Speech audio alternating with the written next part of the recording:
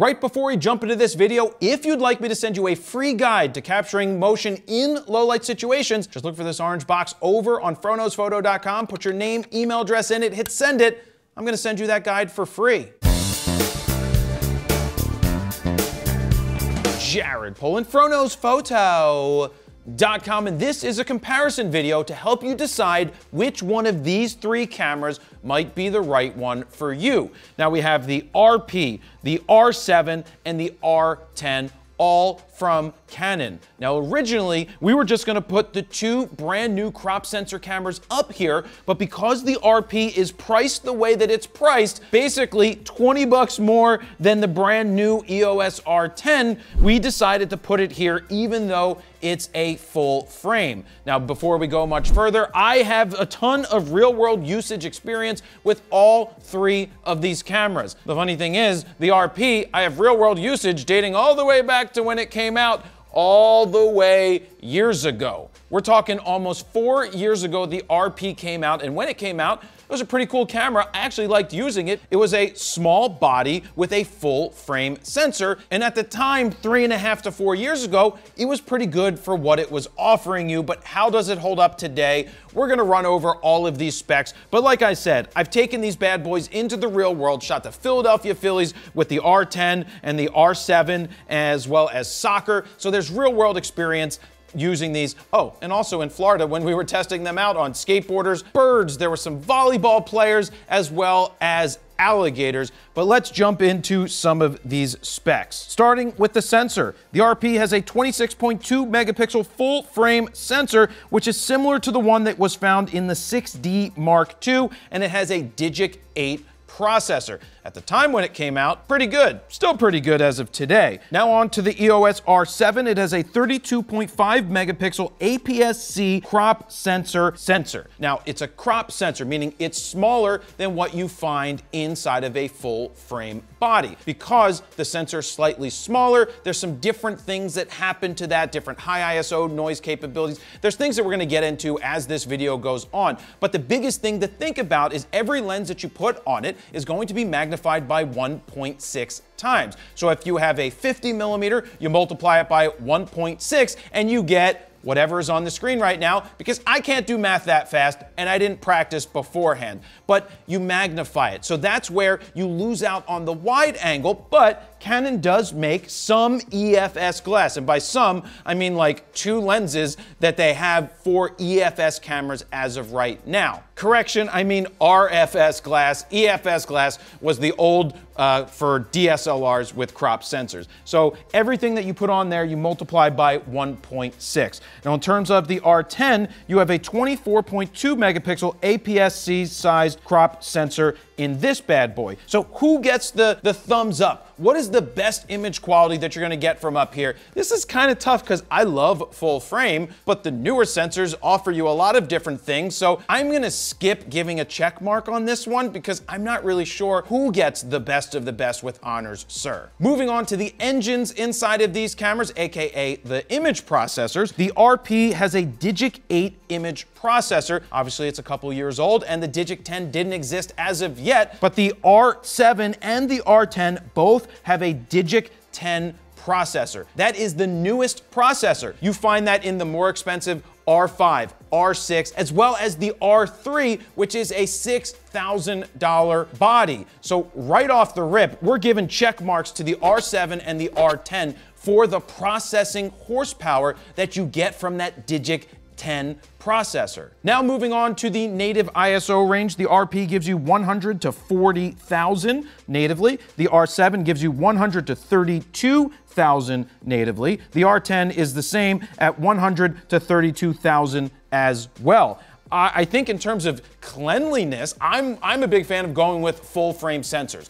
I like full frame sensors. You can push them a little higher, but also the processor comes into play here. So a Digic 8 processor versus a Digic 10 processor, maybe it's more even in this day and age between the older full frame and the new crop sensor because of the Digic 10 processor. Now, it's interesting because the RP does up to 40,000 where these two go up to 32,000. I'd probably say that the image quality is going to be very similar at this point. But I've never gone to 32,000 ISO or 40,000 ISO. If you need to shoot in that low of light, there's really no light that is actually there. So I don't really push much further than 12,800, but I also like to use better glass where I allow more light to come in, and I'm not using the cheaper uh, kit lenses, which cut down on the amount of light that actually gets accepted by these sensors, which means you have to raise the ISO. That's a whole different story for a totally different video where I teach you about shutter speed, aperture, and ISO, but we're not gonna do that here. I think these are pretty even across the board. In my real world usage, shooting in different situations, the higher ISOs haven't been bad at all in the R10 or the R7. A lot of people will say crop sensor means you're not gonna get that great of quality. In this day and age, you can get great quality with just about anything if you know what you're doing. Now moving on to the lens mounts. Each one of these cameras have the same lens mount. It is the RF mount. It's unified across the board. That means when you take any RF lens, you can put it on any one of these bodies. But now that Canon has released some of the RFS lenses, they will still probably work on the full frame, but it's not recommended that you do that because it's going to use the center portion of the sensor. You're gonna end up with vignetting. I honestly haven't tested it out because there's no reason to put a crop sensor lens on a full frame body, at least that I know of. If you think there is one, don't yell at me. Tell me what it is down below and I'll take a look at it. But th this is an important thing to talk about, lenses. Photography is all about glass, glass, glass, glass, glass. If you're looking to be a photographer, you want better results than what you're getting with a cell phone, then glass is the thing to invest your money into. I always invested in good glass f2.8s, 1.8s, 1.4s, 1.2s. They're gonna give me better quality results in multiple lighting situations. The reason I'm hammering this home is if you're getting an R10, you might be okay with just traveling with a lighter lens that's a variable aperture lens, meaning as you zoom in, the aperture changes. They're not the best pieces of glass, but if you're looking to just go shoot pictures, one of those EF Oh, sorry, I keep doing that, RFS lenses is going to be fine. It's going to be good enough. But Canon also makes some inexpensive RF glass. They have a 50 1.8. They have a 35 1.8. They now have an they have an 85 f2. They have a bunch of more inexpensive RF glass. But my recommendation for all of these cameras here, for anybody getting into photography now and investing in these systems, is there's nothing wrong with the EF glass. Canon put out millions of EF lenses. Sigma put out EF lenses. Tamron put out EF lenses. They adapt seamlessly with the EF to RF adapter. The reason I say this is you can save so much money by, by buying yesterday's good glass. That's important. Invest in glass. I know I'm taking a little extra time here, but glass is the most important thing. And when you can save money by adapting the older lenses here, like a 70 to 200 2.8 version 2 or a Sigma 70 to 200 uh, Sport, you're going to be really happy with the results versus paying money for a subpar or not as fast of a lens in terms of aperture for one of the RF mounts or the one of the RF lenses. So that's my recommendation there.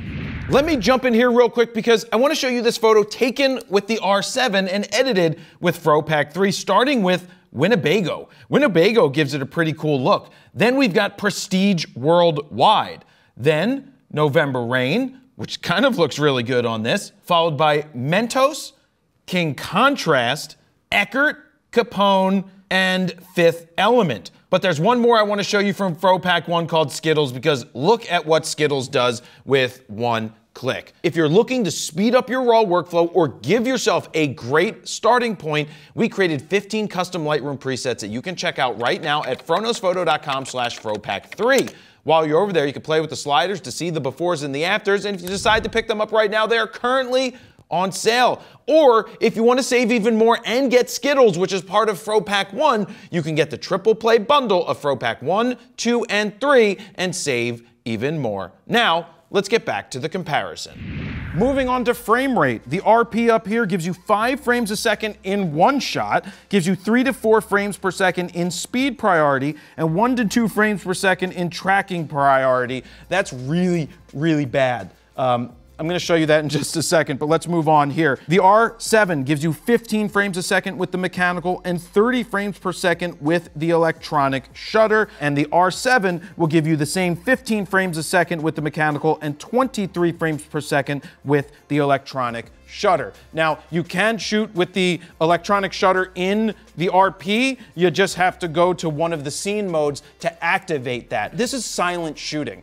Now, you do have the option I don't recommend that you do use it often because not only are you going to fill up that buffer really quick that we're going to talk about uh, shortly, but you also might get some rolling shutter. That's where if you're going to swing a bat and you're taking a picture of someone swinging a bat, the bat's going to be bent because that's what's happening. It's rolling shutter, it's capturing things at different times, and you might get that. But if you need to shoot silently, then go into that mode when you need to. But for the most part, you don't need to go into that mode if you're in a loud environment. But let me let me play this for you. And by play this, I'm picking this one up. Here, here's what are we set to? Hit the Q mode. We're in high frame rate. You ready? Oh, that's like death. That's like three to five frames a second. Then you've got the, the, the focus priority right here. Oh my, oh my God. Please take it away. I'm doing that for a reason. That's what that sounds like. This is the R10 right here. What are we set to? We're in the high mode. This is this is 15 frames a second with the mechanical shutter. That's 15 frames a second with the mechanical shutter in a really inexpensive body. I didn't have 15 frames a second basically ever with a DSLR. Ever. My first DSLR did eight frames a second at a time when most people did three or four. So the fact that you get 15 frames a second with this, 15 frames per second with this with mechanical shutter absolutely blows the RP so far out of the water that I really want to throw it off the desk right here and tell you not to get it. But there is someone who might find this useful. If you're a landscape shooter, someone who's not going to shoot action, you're not shooting races, you're not shooting sports, but you may want to travel and have that full frame sensor to get the full frame quality, then this could be a good option. But if you're going to try and track something, you're going to try and shoot sports, it's going to be ungodly slow when you have the options of what these two bad boys offer you. So guess what? Negative check mark for URP, negative. Moving on to the auto-focusing systems in these cameras, the RP has dual pixel AF. They claim that it has 4,779 phase detect AF points with only 143 of them selectable. It now has Eye AF. It was added after the fact with a firmware upgrade. It works. It's not as fast as the other two. It's a much older focusing system. Canon stopped really talking about how many focusing points. Honestly, I think all the camera companies are going to stop talking about those focusing points because we don't even manually select them anymore like we did back in the day. Like when I had nine back in the day, I selected my focusing point. Now, the cameras are so smart with the dual pixel AF and the dual pixel AF2 that they just go to where they need to go to and you don't even have to think. You just allow the camera to do what it's going to do. Moving on to the R7, and I might as well add the R10 because they have the same exact focusing system. It's the dual pixel AF version 2 autofocus that is inherited from the much more expensive R3. It's 651 phase detect AF points, flexible zones, there's vehicle tracking, there's bird tracking, there's human tracking. We actually utilize Eye AF right now to track me automatically, like if I move this way, or I move this way, I move forward, I move back, it's gonna follow me around. By the way, we're using the Canon R5 here. We've got a 28 to 70 f2 on that bad boy. We've got an R5 down here on this camera with a 70 to 200 2.8. So we're using the Canons in here to film our videos. Now I mentioned that it inherits the autofocus from the R3. It can't be the exact same as the R3 because the R3 has a stacked sensor which has a much faster readout than these two. I'm not gonna get into the details on that, but the check marks are definitely going to the R7 and the R10 because they share the same exact focusing system. They share the same focusing system with the more expensive R6 and R5 and inherits the one from the R3. That's pretty crazy that Canon has done that. It's amazing autofocus. Now on to the max shutter speed. You've got 1 4 thousandth of a second for the mechanical and electronic of the RP, 1 8 thousandth of a second for the mechanical in the R7, as well as 1 16 thousandth with the electronic shutter, which is very nice to have. That's why this one is gonna get a check mark. I'm gonna tell you as soon as I finish the other, it's gonna get a check mark because it's better. The R10 maxes out at 1 4 thousandth of a second with the mechanical shutter and the electronic shutter. So this R7 is more on the line of like, we're a pro crop sensor camera, and that's reflected in the more expensive price, which we'll get to at the end of this video. So check mark is going to the R7. A lot of this is given. When it's more expensive, you're like, oh, it's probably better. In some cases, but the fact that it shares so many similarities to the R10 is a big bonus to the R10. Now, let's get to burst rate. The RP, if you can actually handle shooting 50 frames in a row, because that's gonna take like an hour to just sit there and listen to that, you can get 50 RAW files in a row. The R7 gives you 51 RAW files at 15 frames a second, so you got a couple of seconds of shooting before you outrun the buffer. I have not outrun the buffer with the R7 at this point. It it's pretty good. And I shoot RAW the whole time. As you see, I wear it on my shirt, I shoot RAW. Now, when it comes to shooting with the electronic shutter,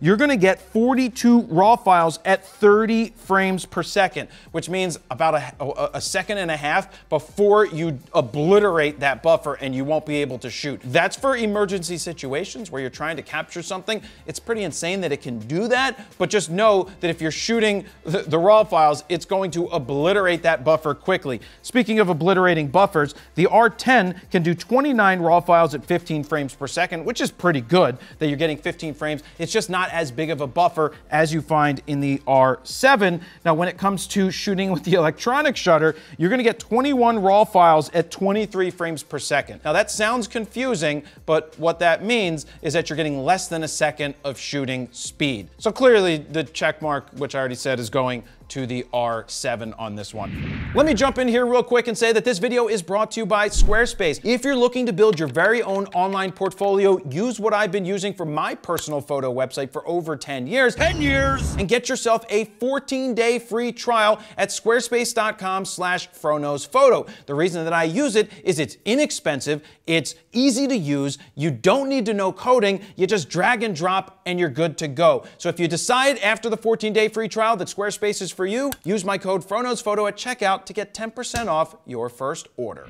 Now let's move into video. The RP has a 1.74x crop 4K video recording at up to 24 frames per second. There's a ton of rolling shutter. It's like my money don't jiggle jiggle, it folds. That's right, as you go side to side, it's going to be wobbly and herky jerky and jello-y. And at 1080 up to 60 frames per second, you will get a full width readout. The 4K in this is basically unusable. At the time, three and a half, four years ago, it still wasn't that good back then either. So it's not the best, but if you just want to get video, it's going to get the job done, just not as good as something like this R7, which gives you full width 4K recording oversampled from 7K. You can get 4K up to 60 frames per second, but with some binning, and also offers a crop mode if you want to get a little bit more reach. Now, 1080p will give you up to 120 frames per second. There is unlimited record time. C-Log 3. It has vertical video info as well as auto leveling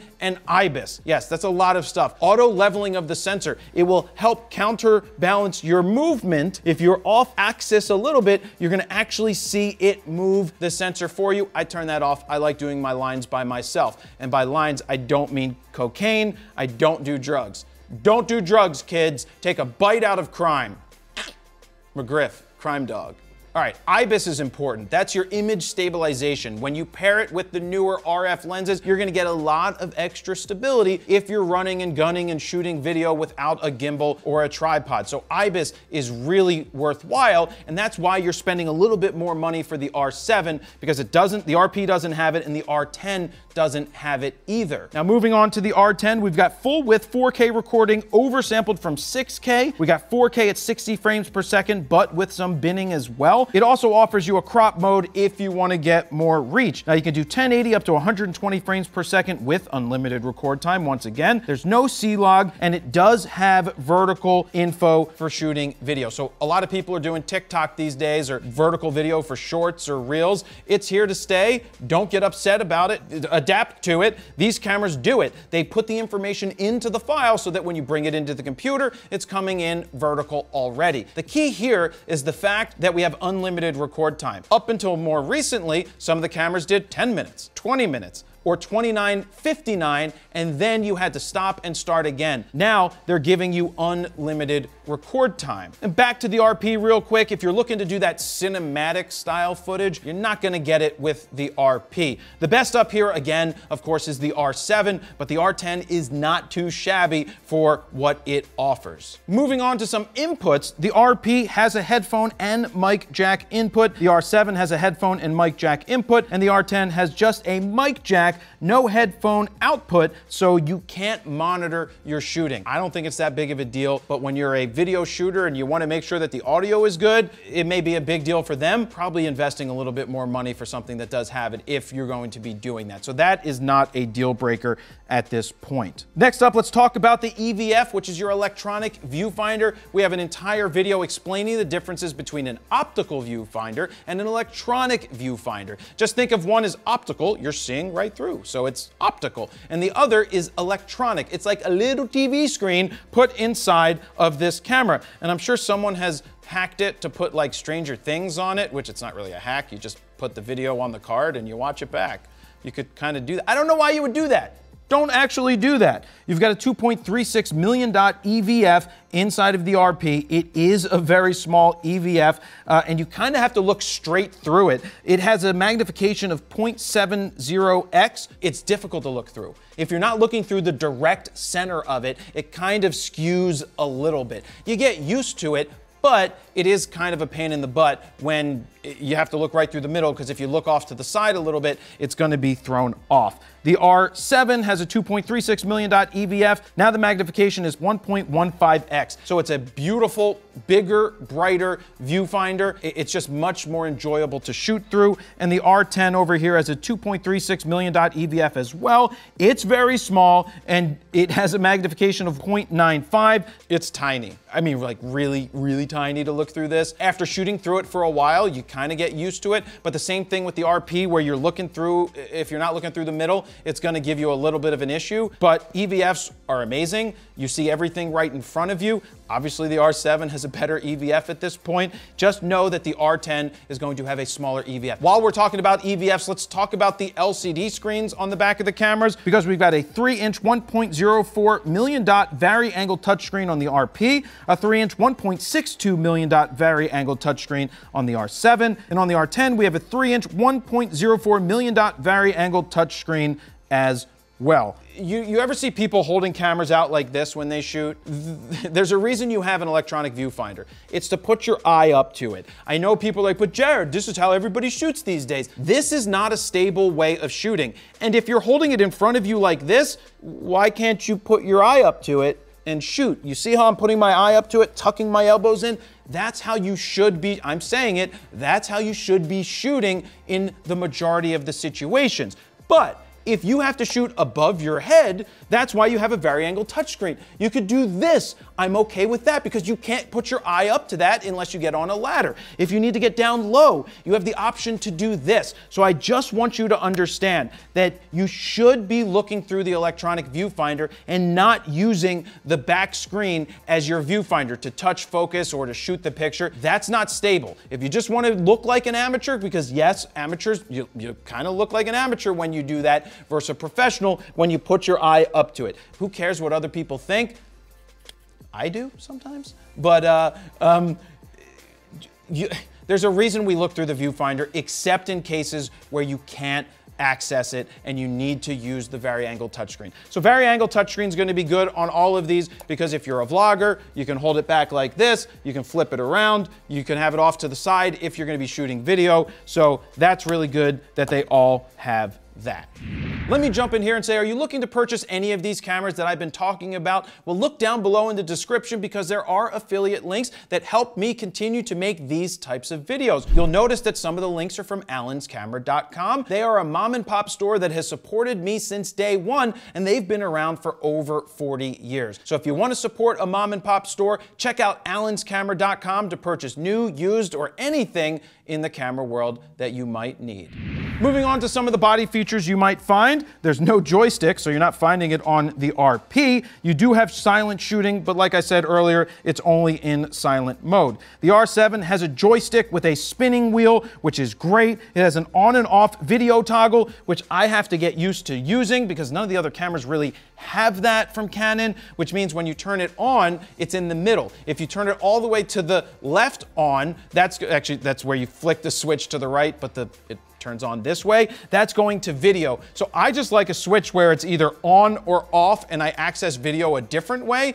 That's my personal preference. Um, you'll get used to it the more you use it. It's just that I use every single camera on the market and sometimes you forget and I end up in video mode when I really want to be in photo mode. Now you do have a digital hot shoe on this for new accessories. Uh, the shutter can come down to protect the sensor when you turn it off. It's weather resistant uh, and it's a very similar body feel to what you would have with the last DSLR that they made in this range or in a crop sensor, which is the 90D. Now, onto the R10, you do have a joystick. It's a teeny tiny joystick, but at least you have it. You do have a digital hot shoe, which is great, and you have a built-in flash, you know, for when you want to flash people. Not your body, but with an actual flash.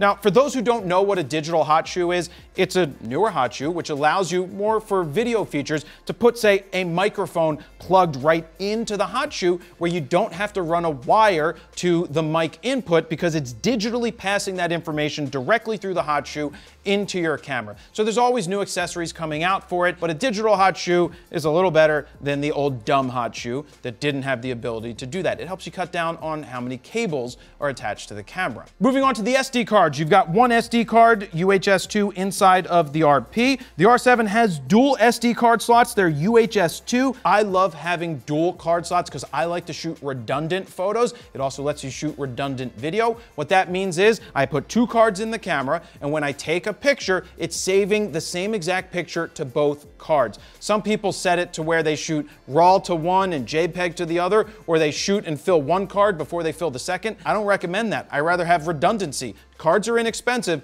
Put two cards in there, have it save the same files to both cards just in case there's ever an issue. The R10 has a single SD card slot. It's a UHS 2 SD card slot as well. Now, the R7 has a door on the side, more professional for putting two cards into the camera. And with the RP and the R10, it's where the battery is underneath the camera. You flip open the door and you gotta press it up in there, and that's where you get your one card. Another thing to mention about these three bodies is there's no vertical grip options that you can purchase. Now for the RP, there's a dummy grip. It's a little extender on the bottom that's 80 bucks that allows your pinky a place to rest, but it doesn't allow you to go vertical. It doesn't allow you to put an extra battery in. As you get into more expensive cameras, you're gonna see you can add grips. None of these cameras do that. Now let's move into the battery power. We've got an LPE17 battery in both the RP and the R10. It's a much smaller battery and one that is twice the size and twice the power you find inside of the R7. That's an LP E6NH battery. It's the same battery that you use for the R6 as well as the R5. So it's a bigger battery, thus giving you a little bit more power, more record time, more run time, more shooting time, and of course a bigger battery in most cases is probably better. Now, if you're gonna buy any of the, the RP or the R10, actually all cameras, make sure you have at least two batteries with you, but you do have the uh, option to USB charge these cameras except for the fact that when you're USB charging the RP, you can't actually shoot with it, but you can shoot with the other two right here. Now moving on to weight, we've got 1.07 pounds or 485 grams on the RP, 1.35 pounds or 612 grams on the R7, and 0.94 pounds 429 grams are on the R10. It is a much smaller body, much lighter body, as you can tell it honestly feels like a toy in the hands. The RP feels great in the hands. The R7 feels really good in the hands. And the R10, I mean, you, you pick this up and you're like, I mean, it has a nice grip on it. It feels good, but it definitely feels a lot more plasticky, but that's because it's less expensive. So let's talk about pricing. The RP is $999 for a full frame body. That's why it's sitting here right now. The R7 is 1499 and the R10 is $979. So that's why we put the RP here because there's a $20 difference between these two, two bad boys. And I know some people might be okay with this full frame. At the end of the day, which one of these bodies is right for you? You have to ask yourself the question, are you looking to step up as a photographer over time? Is this the profession you want to get into? Or even if it's not a profession, do you just want to be a better competent photographer than someone just taking snapshots? Not that there's anything wrong with taking snapshots if that's what you want to do. The R7 is the place you go if you want to work your way up, but you don't want to spend 2600 plus dollars to get uh, the R6, which is full frame. I really like the R7. The fact that the speed, the autofocus speed, is on par with the R5 and the R6 and similar to a $6,000 body is mind blowing. The R10 is a very nice option for people who just want to take pictures of their kids running around or they're going to be on stage or they want to shoot video and they don't really care about stepping up in the future. Save the 500 bucks, get some better glass in my opinion if you can. This is going to be an okay option for you guys. The RP as I said earlier is really for people that want that full frame. You're not going to be shooting fast moving objects or you're not going to be wanting to get 30 frames a second or 15 frames a second, but you want full frame, you want a small body, you want something light. This is going to be okay. I personally would not be purchasing this. If I had to pick any one of these cameras, I, I, would go with the R7 in my shoes. Just because of the build quality and the feel and the 15 frames a second, even though you get 15 frames a second in here. Look, if you only have a $1,000 budget, it's gonna be very difficult to get into one of these cameras. If you can squeeze out a little more and you're just starting out, the R10 is a super powerful camera 15 frames a second. The first time I started shooting sports with a Canon EOS Elan 2E, it gave me three frames a second, right? Now you're getting 15. This is a, is a very competent camera for the money. My recommendation, as I said earlier, and I wanna reiterate it once again because I wanna hammer it home, glass, glass, glass, glass, glass invest in good glass on all of these bodies. If you want to save a little bit of money, buy the EF lenses with an adapter. You will not be disappointed. You're going to save money, but get really good glass that's going to continue to adapt into the future. And when you want to sell it in the future, it's still going to hold a lot of its value. All right, I know that's a lot of information, but the point of this video is to help you decide which one of these might be the right one for you. Which one do you think you'll go with? Let me know down below. Thank you very much for watching. Don't forget to like, subscribe, comment, all of that good stuff. Jared, PolinFroKnowsPhoto.com. See ya.